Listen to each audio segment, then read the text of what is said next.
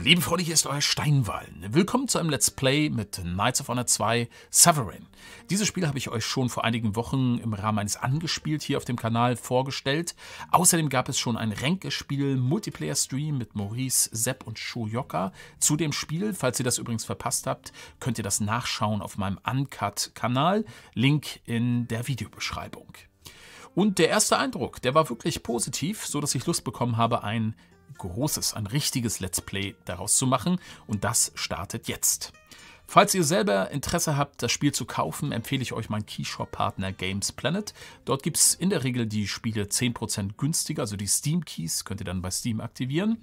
Äh, bis zum 31. Januar äh, gibt es das noch mit dem Rabattcode Ehrenstein noch etwas mehr vergünstigt. 15%, wenn ihr das eingebt während des Kaufprozesses. Und wenn ihr mich dabei unterstützen wollt, dann nutzt ihr den Link in der Videobeschreibung oder im ersten Kommentar, um zu Games Planet zu kommen. Der Rabattcode Code ist für euch. Äh, der Link ist meine Unterstützung. Vielen Dank dafür. So, und jetzt geht's auch gleich los.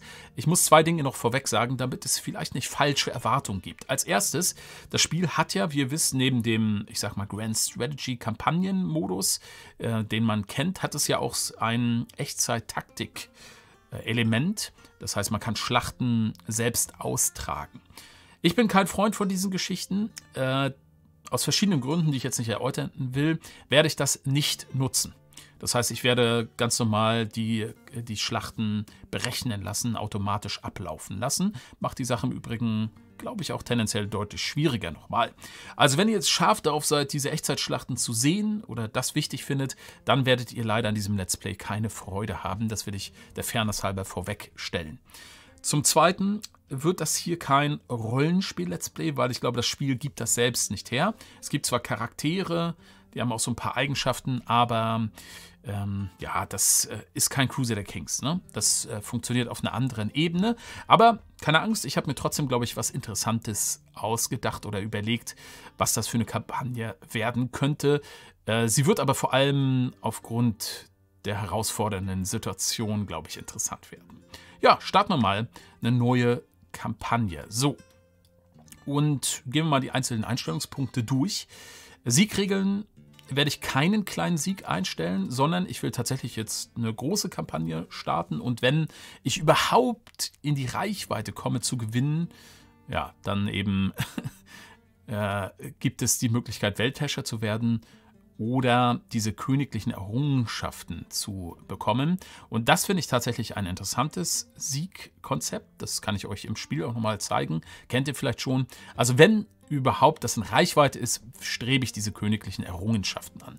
Das finde ich ganz spannend. Kleinen Sieg lassen wir aus. Also entweder wir werden relativ schnell untergehen oder wir kämpfen um das ganz Große. So, Startzeitalter lassen wir mal Standard. Schwierigkeit setze ich auf schwer mit dem Wissen, dass schon normal in diesem Spiel ziemlich schwer ist, wie ich finde. Äh, schwer macht es, glaube ich, richtig hart und meine Auswahl des Landes wird es gleich nochmal richtig härter machen. So, wir werden Königsreichsgröße historisch, religiöser Status, das lasse ich hier alles auf Standard. Anfangsklasse des Königs historisch, wobei unsere Wahl wird dann faktisch zufällig sein. Ähm, der Rest wird auch alles äh, normal gelassen. So, was wähle ich jetzt? Passt auf, ich mache jetzt folgende Änderung. Das finde ich ziemlich cool an diesem Spiel. Man muss nicht eines dieser historischen äh, Königreiche wählen, sondern man kann auch nur eine Provinz wählen und die wird dann ein eigenes Reich. Und das will ich tun. Und zwar werde ich Gotland wählen. Wir werden jetzt also als Königreich Gotland spielen, was dann nicht logischerweise zu Schweden gehört. Allerdings Schwedens wird es noch, äh, wird noch existieren. Das heißt, alle anderen Königreiche sind da, bloß man selbst spielt halt äh, ein neues.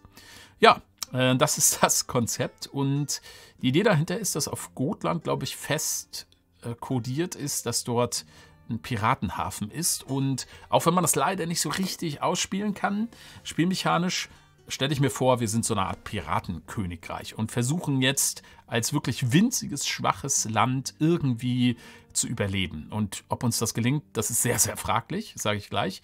Ich rechne eher mit einer Gesamtniederlage, aber die, die Ausgangslage ist irgendwie ganz spannend. Okay. Und eben diese Ausgangslage gucken wir uns jetzt mal an und wir überlegen, äh, ja, wie kommen wir hier klar? als erstes schauen wir uns aber erstmal an, was wir hier eigentlich regieren. Das ist teilweise auch immer zufällig. Ja, und ich sehe gerade mit Schrecken, es gibt keine Burg auf unserer Insel. Das ist schlecht. Das kann man jetzt schon mal sagen. Gut, ich versuche aber damit zu leben. Okay, was haben wir in Visby? Wir haben zwei Klöstergebäude. Wir haben einen Getreidehof. Das ist wiederum ganz okay. Äh, drei Küstensiedlungen und den schon erwähnten Piratenhafen. Allerdings keine weiteren Ressourcen. Auch die kommen häufig mal zufällig dazu. Das wiederum ist schlecht. Okay. Gut. Ja, das ist alles. Mehr haben wir nicht. Äh, damit müssen wir jetzt klarkommen. Versuchen wir es. Äh, was ist unser Anführer? Okay, unser König ist ein Marschall. Das ist nicht das Schlechteste. Ähm, damit, das ist sogar ziemlich gut, muss ich sagen, weil wenn wir den König gleich verbessern mit seinen Fähigkeiten, bekommt er gleich Level 3 Eigenschaften. Und das ist gerade, wo die Kämpfe knifflig werden am Start, sehr, sehr hilfreich, wenn wir Marschall haben. Ich hätte mich auch über einen Händler noch gefreut als König, aber damit können wir auch klarkommen. So, König Stena ist unser Mann. Was diese Boni äh, betrifft, bin ich mir nicht so sicher. Kampf, okay, stärkt hauptsächlich Moral aller Armeen und Garnisonstruppen. Mhm. Gut, kann sein, dass es auch noch die Stadt betrifft. Diplomatie ist auch gut bei ihm. Okay, also man muss sagen, für das, was wir hier vorhaben, ist das schon ein sehr, sehr guter König jetzt. König Stena, Piratenkönig Stena. Ich glaube, er führt jetzt hier auch Visby an. Genau, durch Statthalter kriegen wir drei. Ähm, zwei Bücher kriegen wir durch die Kirchen, das ist schon ganz gut. Und ja, das ist mit dem Handel ein bisschen lahm. Durch Statthalter plus drei Einberufung, das wird noch nicht so ein Thema sein. Okay, äh, ich denke, als erstes müssen wir uns überlegen, wie oder anschauen, wie ist die diplomatische Lage und was sind jetzt eigentlich unsere Ziele? Wie können wir hier überleben? Dazu muss man sagen, in diesem Spiel kann man nicht so richtig friedlich vor sich hin äh, existieren. Man wird mit größter Wahrscheinlichkeit relativ schnell angegriffen von irgendwem. Und da hängt es jetzt ein bisschen davon ab, wer uns zum Ziel aus, ähm, auswählt.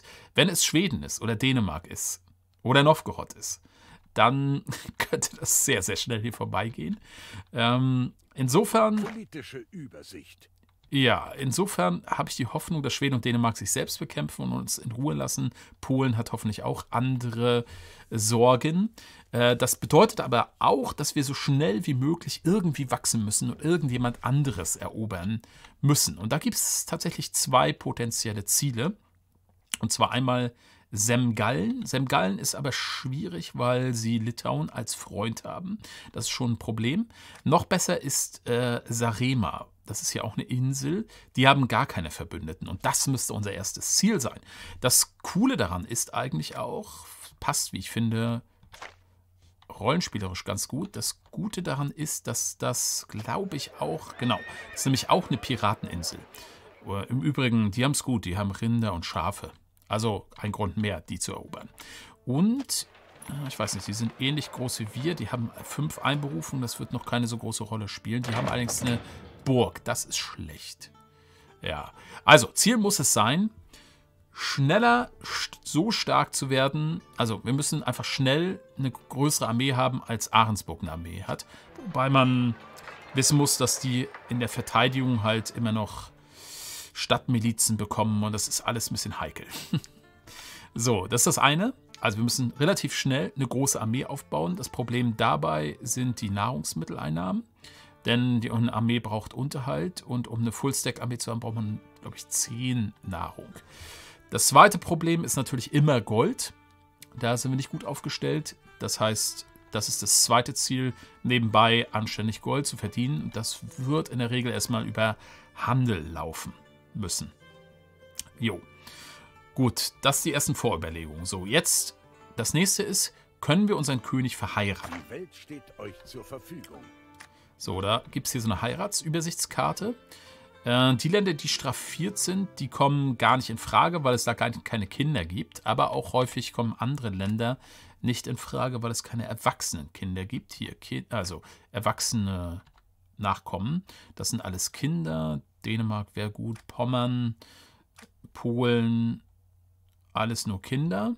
Es gibt auch so den Status jugendlich, aber ich glaube, am Anfang starten die immer als Kind. Bin mir nicht ganz sicher. Also in der Nähe sehe ich jetzt hier nichts, was möglich ist.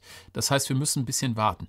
Das Blöde ist, wenn man zu lange wartet, dann verheiratet sich der Kö König automatisch, was ärgerlich ist, ne? weil so hätte man noch irgendwie eine diplomatische, diplomatischen Vorteil aus so einer Heirat. Also im Moment ist hier nichts zu holen.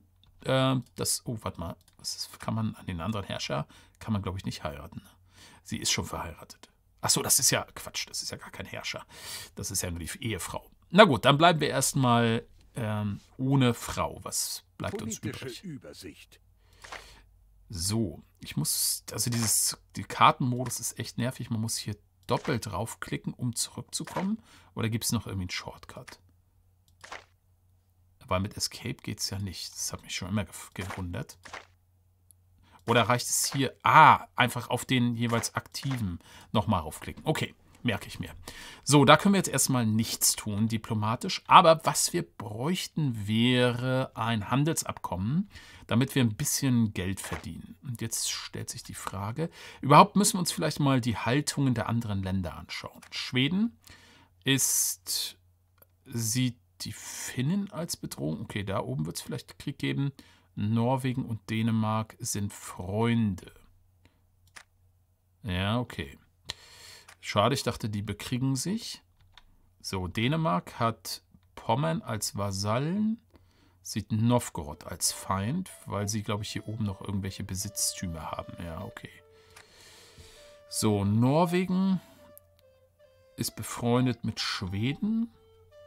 Novgorod ist verfeindet mit Dänemark und Polotsk. Litauen befreundet mit Semgallen und dem Livländischen Orden. Ja, okay, gut. Polen befeindet mit Preußen. Naja. Okay, gut. Äh, wir haben, glaube ich, gar keine Haltung, weil wir quasi so eine Art neu erschaffenes Land sind. Äh, das bringt uns im Moment also auch noch nicht richtig weiter. So, aber das Entscheidende ist jetzt, kriegen wir jetzt irgendwie ein Handelsabkommen? Wie sieht es aus mit Schweden? Das wäre was Schönes. Handelsabkommen. Vielleicht in ein paar Jahren, König Stena, wenn Gotland seine Haltung verbessert, sagt Erik. Gut. Dänemark. Handelsabkommen. Mit dem erbärmlichen König Stena aus Gotland würden wir niemals Geschäfte machen. Na danke. Kann man vielleicht auch hier direkt mal einen Nicht-Angriffspakt? Ja, okay. Ja, dazu sind wir einfach zu lächerlich schwach. Ne? Da würden die nicht von profitieren, nur wir. Wir fragen bei Novgorod an, anbieten Handelsabkommen. Okay. ja, hm, ich merke schon, das wird nett hier. Anbieten Handelsabkommen. Okay, niemand will das. Wie sieht es aus mit den Pommern? Herzog Barnim. Anbieten Handelsabkommen. Uh, okay. Puh, er sagt, er macht es, kostet uns 800. 800 ist eine Menge. Boah. Ich weiß gar nicht, ob äh, das Verhältnis runtergeht, wenn ich jetzt ablehne. Aber das müsste ich, könnte man gleich mal ausprobieren. 800. Ich lehne mal einmal ab. Äh, wenn ich jetzt zum Beispiel erstmal nicht Angriffspakt, okay. Und wenn ich jetzt nochmal anbiete, Verdammt, ich hab's verkackt. Okay, echt? Okay, sie wollten es, aber durch die Ablehnung sagen sie jetzt nein. Na, großartig. Das habe ich ja toll gemacht. Litauen. Okay. Das ist schon mal der erste diplomatische Fehlgriff hier meinerseits. Was sagen die Finnen? Oh Gott, das wird ja, das, das wird ja schrecklich hier. Was sagen die Schotten? Ich hätte es mit Pommern machen sollen. Okay. Sie wollen... Okay, jetzt lerne ich mal daraus. Ich würde sagen, wir, wir machen das jetzt für 800. Unsere Kaufleute sind zufrieden mit uns. Ich jetzt, ich jetzt gar keinen äh, Vertrag bekomme, mache ich das jetzt. So, die Kaufleute finden das toll. Meinung hat sich verbessert. So sei es. Ähm, was bringt das eigentlich? Ah, ne, die waren auf Minus. Gut, sehr schön. So, dafür brauchen wir natürlich jetzt auch noch einen Händler das nächste, was wir machen, für 200 anheuern. Und wir werden mit was Das ist ja erbärmlich. Das ist ja erbärmlich. Hier acht Gold. Oh mein Gott, die armen Schotten. Profit ist mein Leben. Ja, Profit ist aber nicht so doll, ehrlich gesagt.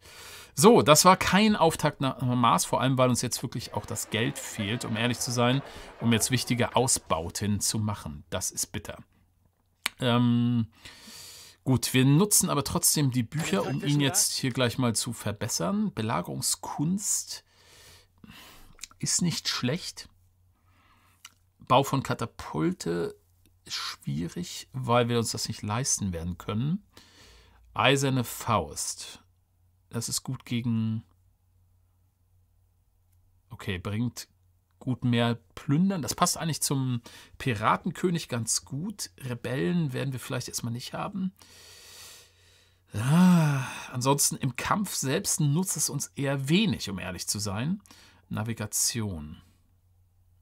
Das ist eigentlich auch ganz cool, aber auch irgendwie nicht so super wichtig. Wobei, da könnte man vielleicht, ich habe keine Ahnung, offenbar gibt es auch einen Kampf auf See. Ähm, Armeemoral auf See und Stärke auf See. Da könnte man vielleicht gegnerische Einheiten abfangen. Das ist eigentlich eine ganz witzige Sache, oder? Ich habe keine Ahnung, ob es funktioniert, aber wir machen das mal. Navigation. Jetzt bin ich mächtig und klug. Das passt irgendwie zu so einem Piratenkönig. Oh Gott. Äh, also ich muss sagen, das ist ein katastrophaler Anfang hier. Ich habe es mir selber auch ein bisschen äh, eingebrockt. So, das Problem ist, ähm, dass äh, unsere Truppen, die wir jetzt hier anheuern können, super schwach sind. Ich will eigentlich gerne die nordische Miliz haben. Dazu brauche ich dringend die Dorfmiliz. Das kostet uns 480. Das haben wir erstmal auf absehbare Zeit nicht. Ähm, insofern und weil hier das immer dauert, ehe neue Leute kommen, werde ich schon mal einmal nordische Bauern uns ranholen. Dann kann hier die Bevölkerung wieder steigen. So, das war's. Mehr mache ich jetzt erstmal nicht. Mehr können wir auch nicht machen. Jetzt müssen wir erstmal ein bisschen Geld verdienen. Der Händler wird jetzt hier sein... Ich mache auf schnell in diesem Moment. Äh, wir werden das hier auch, glaube ich, mal ausklappen. Okay, das, die Liefländer haben Sarema schon den Krieg erklärt. Das ist doch das, was sie erobern will. Oh Gott. Ja, ein Plan nach dem anderen bricht hier zusammen. Ihr seid Zeugen vermutlich des kürzesten Let's Plays auf diesem Kanal. Naja, wir werden sehen. So, diverse Kriegserklärungen. Wir sollten noch nicht so schnell betroffen sein. Dänemark hat Novgorod den Krieg erklärt. Das ist insofern gut, dass Dänemark dann erstmal uns äh, nicht ins Visier nimmt. Ja, und worauf spare ich jetzt? Das ist die große Frage, ne? Also eigentlich... So, er macht jetzt erstmal seinen Handel, der erbärmliche Handel. Ja. Mal sehen, vielleicht kriegen wir ein paar Profite. Plus 8 ist wirklich sehr, sehr, sehr schlecht. Ausländische Kaufleute aus Schottland sind jetzt auch bei uns. Die bringen jetzt nochmal zwei mehr. Das sehen wir hier über Handel. 8 unsere Kaufleute, 1,5 die Schotten. Boah, also in dieser Situation, man kann mit Gotland normalerweise schon 20, 30 Gold machen, anstatt 8 oder 10. Ich hätte mit den Pommern handeln sollen. Äh, das ist ein bisschen schade, dass man im Vorfeld nicht sieht, wie profitabel die Route wird. Oder ich habe es übersehen. Ich bin mir nicht ganz sicher. Schweden hat dem Finnenreich den Krieg erklärt. Mhm. Die Welt steht euch zur Verfügung. Die werden dann vermutlich schnell erobert werden. Und ich hoffe, dass hier die ein bisschen standhalten. Ich würde das gerne erobern. Aber Gott, bis wir da sind, das dauert. So, wir haben 313. Ähm, ja, ich denke, wir machen die Dorfmiliz. Oder? Ja, wir brauchen die... Ich will als nächstes schon die besseren Truppen ausheben. Das sind die Dänen, die jetzt hier bei uns vorbeifahren. Ja, und wir müssen darauf achten, wenn wir hier bessere... Wenn wir wieder 200 Bücher haben. Ich stehe euch zur Verfügung. ist halt die Frage, ob man da lieber dann den Kaufmann verbessert. Wobei, der hat auch keine tollen Geschichten. So, jetzt. Also Behausung ist auch gut, weil hier über Aquädukte bekommt man Bevölkerungswachstum. Das braucht man wirklich massiv. Den Piratenhafen, da brauchen wir definitiv erstmal den Hafen. Der bringt, das müssen wir auch bauen, weil wir die Nahrungsmittel brauchen. Wir bekommen genau hier über die Docks dann Nahrung pro Kostenlesung. Oder man macht halt Getreideanbau, was relativ billig ist. Das gibt uns dann immerhin auch drei Nahrung. Äh, nimmt aber einen wichtigen Slot ein. Ne? Aber wahrscheinlich ist das effektiver als der Hafen, was Nahrung betrifft. Ja, aber das ist jetzt erstmal Zukunftsmusik. Wir machen jetzt erstmal die Dorfmiliz. Wir haben aber echt ein Geldproblem. Muss man mal so sagen. Ähm, wir werden immer mal wieder gucken. Sieht man eigentlich, wie die Jahre hier verstreichen? Wo ist das hier nochmal? Oder sehen wir nur eine Zeit, die verstreicht? Nee. Ich sehe, glaube ich, keine Jahreszahl. Eine neue Konstruktion wurde abgeschlossen. Okay, gut. Jetzt können wir die nordische Miliz. Ihr seht von den Werten her, Ausdauer 100, die haben Ausdauer 120, Nahkampfangriff 12, der hat 9, Verteidigung Nahkampf 10, der hat 5, das ist schon enorm. Ähm, bloß tatsächlich beim Belagerungs... Ne, auch da sind sie besser. Also das ist in allen überlegen. Kostet halt 50 Gold, das muss man mit bedenken. Wir werden gleich den nächsten hier ausbilden. Wir können direkt noch einen, aber ist jetzt nicht entscheidend. So, was? Wir müssen immer mal jetzt diplomatisch gucken, weil wir brauchen noch ein... Wir brauchen noch ein Handelsabkommen. Warum darf ich das jetzt nicht mehr anbieten? Okay, ah, sie haben schon ihre Kapazität ausgeschöpft. Das wird ja immer blöder. Polen. Nee. Ich muss es halt probieren. Das ist wirklich essentiell. Ich meine, wir können den Handel mit Schottland auch ausbauen, aber wir haben gemerkt, das ist nicht sehr lukrativ. Ja.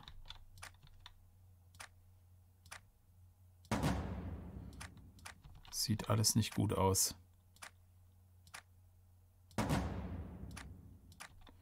So, was ist mit Preußen hier? Die Kaufleute im Reich okay. eure Taten, Majestät. Ah, da haben wir tatsächlich ein ohne Geld bekommen. Das hätten wir vielleicht am Anfang schon kriegen können. Aber ich habe es deshalb nicht gemacht, weil Preußen auch so ein potenzielles Ziel ist.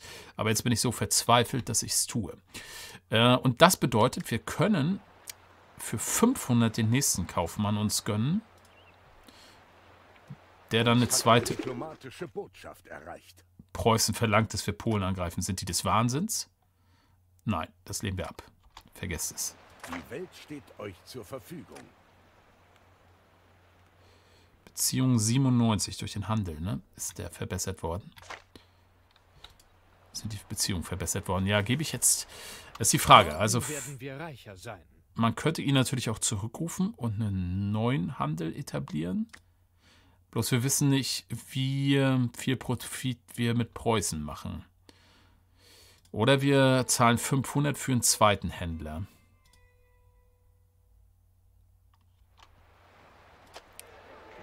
Ich tendiere fast dazu. Aber das, so, das zögert hier unsere Entwicklung enorm raus, muss man einfach mal sagen. So, wir haben aber äh, wieder Bücher, um hier mehr zu machen. So, Führung 3. Das ist genau das, was wir brauchen. 3 Armee-Moral. Hm, hat außerdem noch einen netten Königseffekt. Königreich Einfluss ist tatsächlich für Diplomatie, glaube ich, ziemlich relevant. Und plus 15% Chance, Meinungsverschlechterung zu vermeiden, auch eine gute Sache. Das werde ich insofern nehmen. Armee-Moral. Lasst uns kämpfen! Ja, ja. Armee-Moral wird uns helfen, da bin ich mir ziemlich sicher.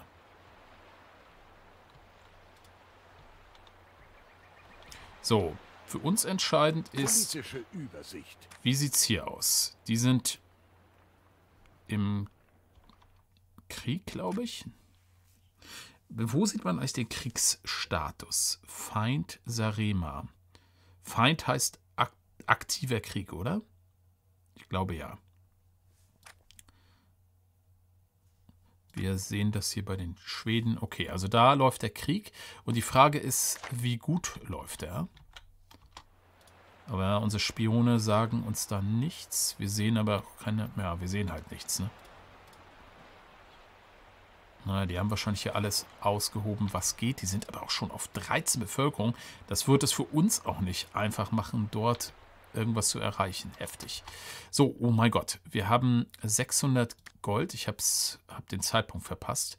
Wir brauchen den Kaufmann. Und der handelt mit Preußen. Gibt auch nur 8. Ach, kostet aber auch nur 71. Aber ich werde überall hinreisen. Um ich glaube, je größer und reicher ein Reich ist, umso mehr Handelseinnahmen äh, sind es, die man erhält. Na gut, das steigert das Ganze vielleicht nochmal auf um 10. Vielleicht, wenn die ausländischen Händler kommen, dann sind wir bei plus 50. Das ist einigermaßen okay, aber auch nur einigermaßen, um ehrlich zu sein. Ja, okay. Handelsroute ist da. Da sind wir bei plus 50. Okay. Gut. Das nächste, auf das wir sparen, sind, ist entweder der, ich denke, Getreideanbau, um jetzt hier mit den Nahrungsmitteln zurechtzukommen.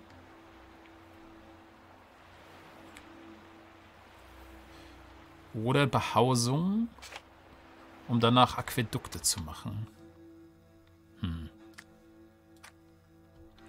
Okay, das ist irgendwo anderswo. Ein Kreuzzug gegen Huargla. Ein Berberreich. Dahin. Oh Gott. Dass man nicht rauszoomen kann, ist so nervig. Manche. Oh Gott, wie sollen die da hinkommen? Naja, viel Spaß. Wir werden uns daran nicht beteiligen.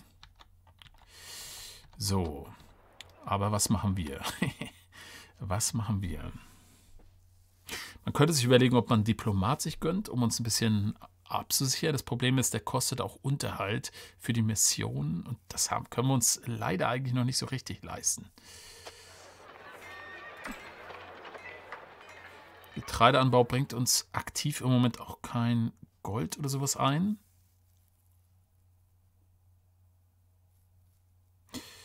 Ja, die Behausung, glaube ich, mit denen starten wir mal. 290 können wir uns leisten. Und wir brauchen auf jeden Fall Bevölkerungswachstum. Das ist super wichtig. Halt, das muss hier schnell ansteigen. Und da helfen uns Behausung bzw. Aquädukte dann doch ganz gut. So, wir gönnen uns dann hier schon mal die nächste nordische Miliz. Und wir können ihn eigentlich auch schon mal zu den Waffen rufen, wobei das ziemlich egal eigentlich ist. Ja, Preußen, ich werde Polen nicht angreifen, vergesst es. Das ist eine idiotische Idee. Ich bin da nicht dabei. Ja, ja, ja. Wer macht eigentlich hier den Kreuzzug? Provence. Aha. So, also, die Behausungen bringen jetzt erstmal plus 20% Bevölkerungswachstum und nochmal zwei Bevölkerung im Maximum. Und jetzt könnte man das Aquädukt bauen. Das bringt nochmal 10% Bevölkerungswachstum. Ist es das wert, als nächstes auszubauen? Die Bordelle bringen uns zwei Gold, kostet 760. Wir haben aber langsam ein Problem mit, dem, mit der Nahrung.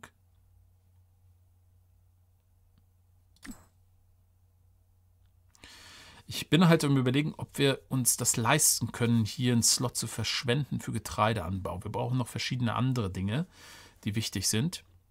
Wir brauchen, und der Hafen ist absolut nötig für uns. Und wir bekommen über den Hafen halt auch noch Nahrung. Das heißt, ich glaube, ich spare lieber auf dem Hafen, um dann vielleicht auch den Piratenhafen zu machen. Also das sollte irgendwie drin sein bei uns. Und die 10% Wachstum ist es jetzt, glaube ich, nicht unbedingt wert. Der Übungsplatz bringt uns hier nochmal einen Rekrut. Den brauchen wir aber im Moment nicht. Danach allerdings ist was Interessantes, die Stadtwächter, die bringen Belagerungsverteidigung. Das kann man sehr, sehr gut gebrauchen. Wir werden belagert werden, das ist klar. Okay, das heißt, wir sparen jetzt auf den Hafen. Ne? 950, beziehungsweise werden nebenbei immer im Blick haben, dass wir hier neue Trupps ausheben. Aber solange das nicht auf Maximum angewachsen ist, ist da nichts verloren, weil man das mit einem Klick machen kann. Das heißt, wenn wir angegriffen werden... Na gut, es gibt auch sowas wie Machtprojektion, glaube ich. Insofern sollte man vielleicht direkt mal so viel machen, wie man haben kann, um gleich der Außenwelt zu signalisieren, ja, wir sind doch nicht so schwach, wie wir aussehen. okay, gut. So, was wir aber jetzt nochmal gucken, diplomatisch. Politische Übersicht. Ob wir vielleicht jetzt schon heiraten können. So. Nee. Prinz Pommern. Wir brauchen irgendwie...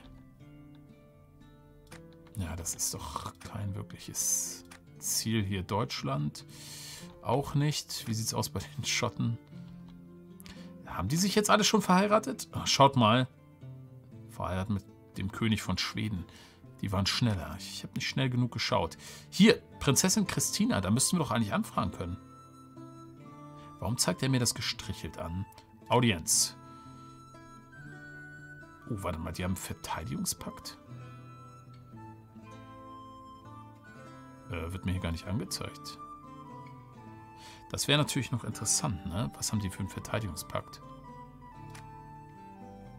Hier steht aber Pakte 0.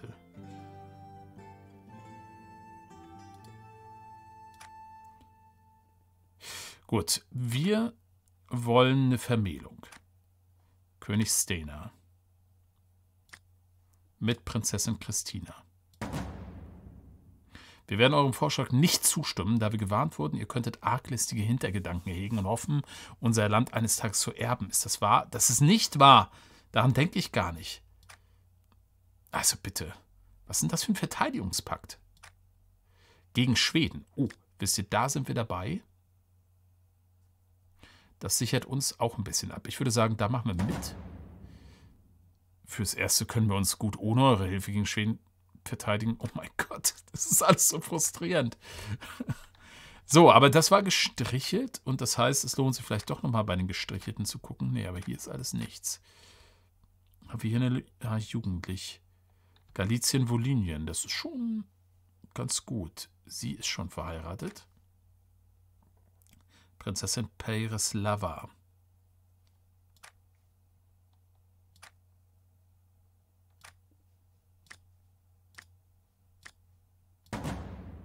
Ich werde meine Tochter nicht verheiraten, da ich fürchte, dass die Beziehungen unser Königreich unter Erbschaftsstreitigkeiten leiden könnten, wenn ich nicht mehr bin.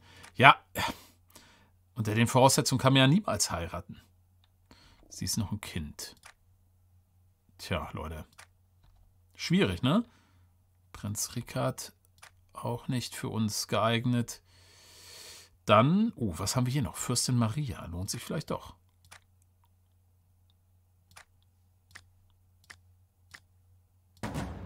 Oh nein, wir in Novgorod verraten unsere Prinzessin niemals ins Ausland. Ich will nicht, dass mein Nachfolger...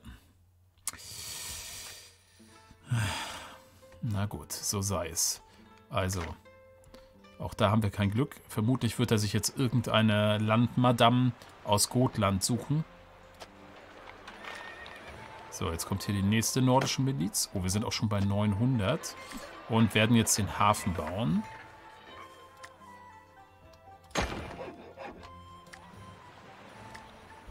der uns nochmal zwei Nahrung gibt. Jeder kostet hier, glaube ich, einem Unterhalt, wenn ich das richtig in Erinnerung habe. Ja, ich glaube, so ist es. Unterhalt für Garnison 5. Genau, das sind fünf Truppen. Wir haben ein neues Gebäude errichtet. Okay, der Hafen ist da, sehr schön. Preußen, ey, kommt. Wir lehnen das ab, wir greifen nicht Polen an. So, Visby hat einen Hafen. Der bringt uns jetzt erstmal plus zwei noch, ein bisschen Handel. Und das können wir natürlich ausbauen. Allerdings ziemlich teuer, das Ganze. So, interessiert bin ich am Piratenhafen. Kostet uns 1400. Wäre schon ganz gut. Und eigentlich, weil wir hier so viele, weil wir zwei Klöster haben, ist hier tatsächlich eine Kirche auch keine schlechte Investition um schneller auf unsere Bücher zu kommen. Stichwort Bücher. Wir gucken mal. Infanterietaktiken. Oh ja. Aber Verteidigung Infanterie und Speerkämpfer. Ich bin mir nicht sicher, gelten diese Truppen als Infanterietruppen? Ja, das ist eine gute Frage, ne? Leichte Infanterie, leichte Speerkämpfer. Ne, gelten sie nicht. Genau, das bezieht sich wahrscheinlich nur auf diese vier Truppentypen. ist scharf. Andererseits Verteidigungstrupp Widerstandskraft. Was ist denn ein Verteidigungstrupp Widerstandskraft? Wir werden natürlich irgendwann diese Einheiten haben. Schlachttaktiken. Das ist, glaube ich, sinnvoller jetzt. Truppverteidigung im Moment. Nehmen wir das. Nehmen wir das als nächstes. Okay. Gut. Wenn wir den Handel weiter ausbauen, können wir auch, also wenn wir, glaube ich, 30 erreichen, können wir die vorhandenen Handelsrouten auch upgraden. Das würde uns dann auch ein bisschen mehr bringen. Hier 51 ist auch schon ganz gut. So, und das geht mir eigentlich hier ein bisschen zu langsam. Ist jetzt auch der Moment gekommen, wo wir ihn mal zu Waffen, zu den Waffen rufen. Wir schlagen innerhalb der Mauern unser Lager auf. Ja, mach das mal, damit wir hier wieder Platz haben für neue Einberufungen. Weil wir sollten schon eine Fullstack-Armee haben, um gegebenenfalls anzugreifen. Und das ist jetzt mal ein spannender Punkt. Wie sieht es denn hier aus? Die existieren zumindest noch. Sind offenbar im Krieg, aber scheinbar ist das so eine Art kalter Krieg. Tja. Gut, liebe Leute. Wir haben die erste Folge überlebt. Wir haben eine kleine Armee, die muss noch wachsen aber sie wächst langsam. Und die Frage ist, welches Reich, also sind wir, werden wir als erstes irgendwo einen Angriff machen? Oder wird als erstes irgendein Reich sein Auge auf uns werfen? Wir werden es vielleicht erleben in der nächsten Folge. Ich freue mich drauf. Bis dahin macht's gut. Euer Steinwall.